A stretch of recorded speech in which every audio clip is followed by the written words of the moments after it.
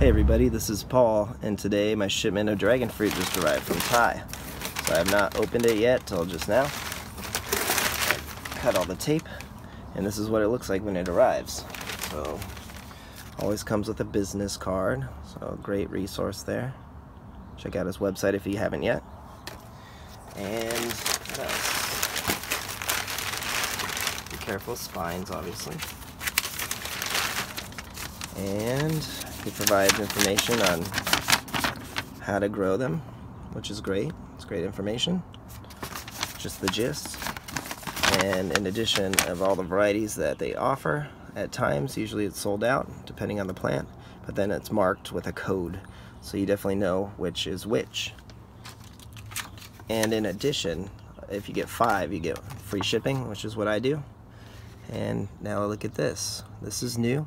I read this online, so this is great. They have a certificate for permit, a nurs nurseryman's license, so this indicates that uh, everything's been followed by law and that they're legit, so it should be the correct um, varieties of dragon fruit, which is huge with dragon fruit.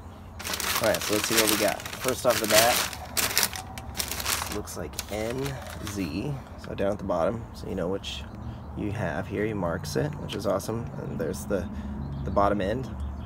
And this is Neitzel. So here we go. This is one that Paul Thomson crossed, a white flesh variety. Look at that, it's even got growth. Alright, what else do we have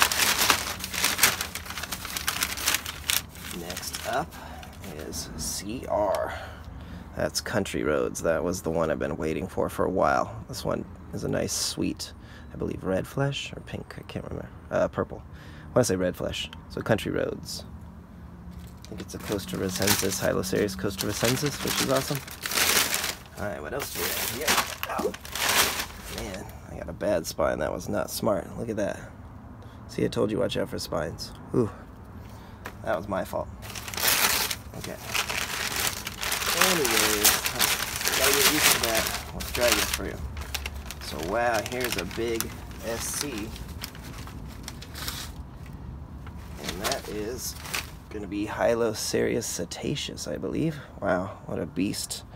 It's even got a little extra bonus piece here that kind of broke off, so it looks like I will have two cuttings. I could get that to root, no problem. So wow, Hylocereus Setaceus, that's what this is. Wow, it's a huge cutting. Look at the size of that. That's number three.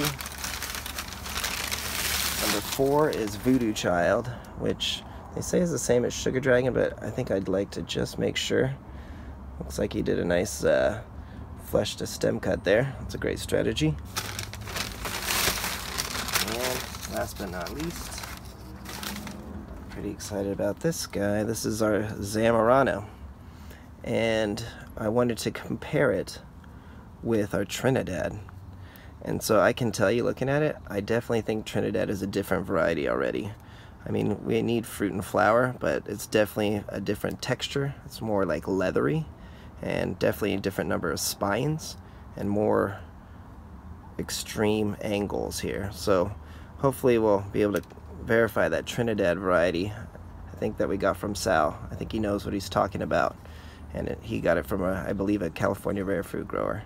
So this is Zamorano and it looks a little bit different than Trinidad. So now we have three Zamorano in our garden and I look forward to hopefully offering some clarity to this variety and some accuracy too.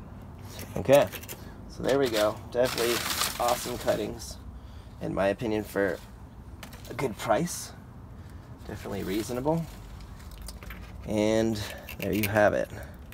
So five more varieties, although now I have three different Zamoranos, and none of them look the same, which is ironic.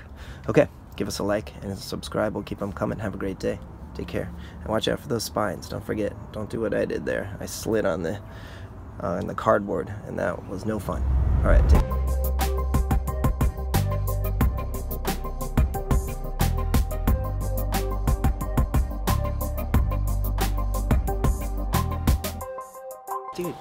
creepy.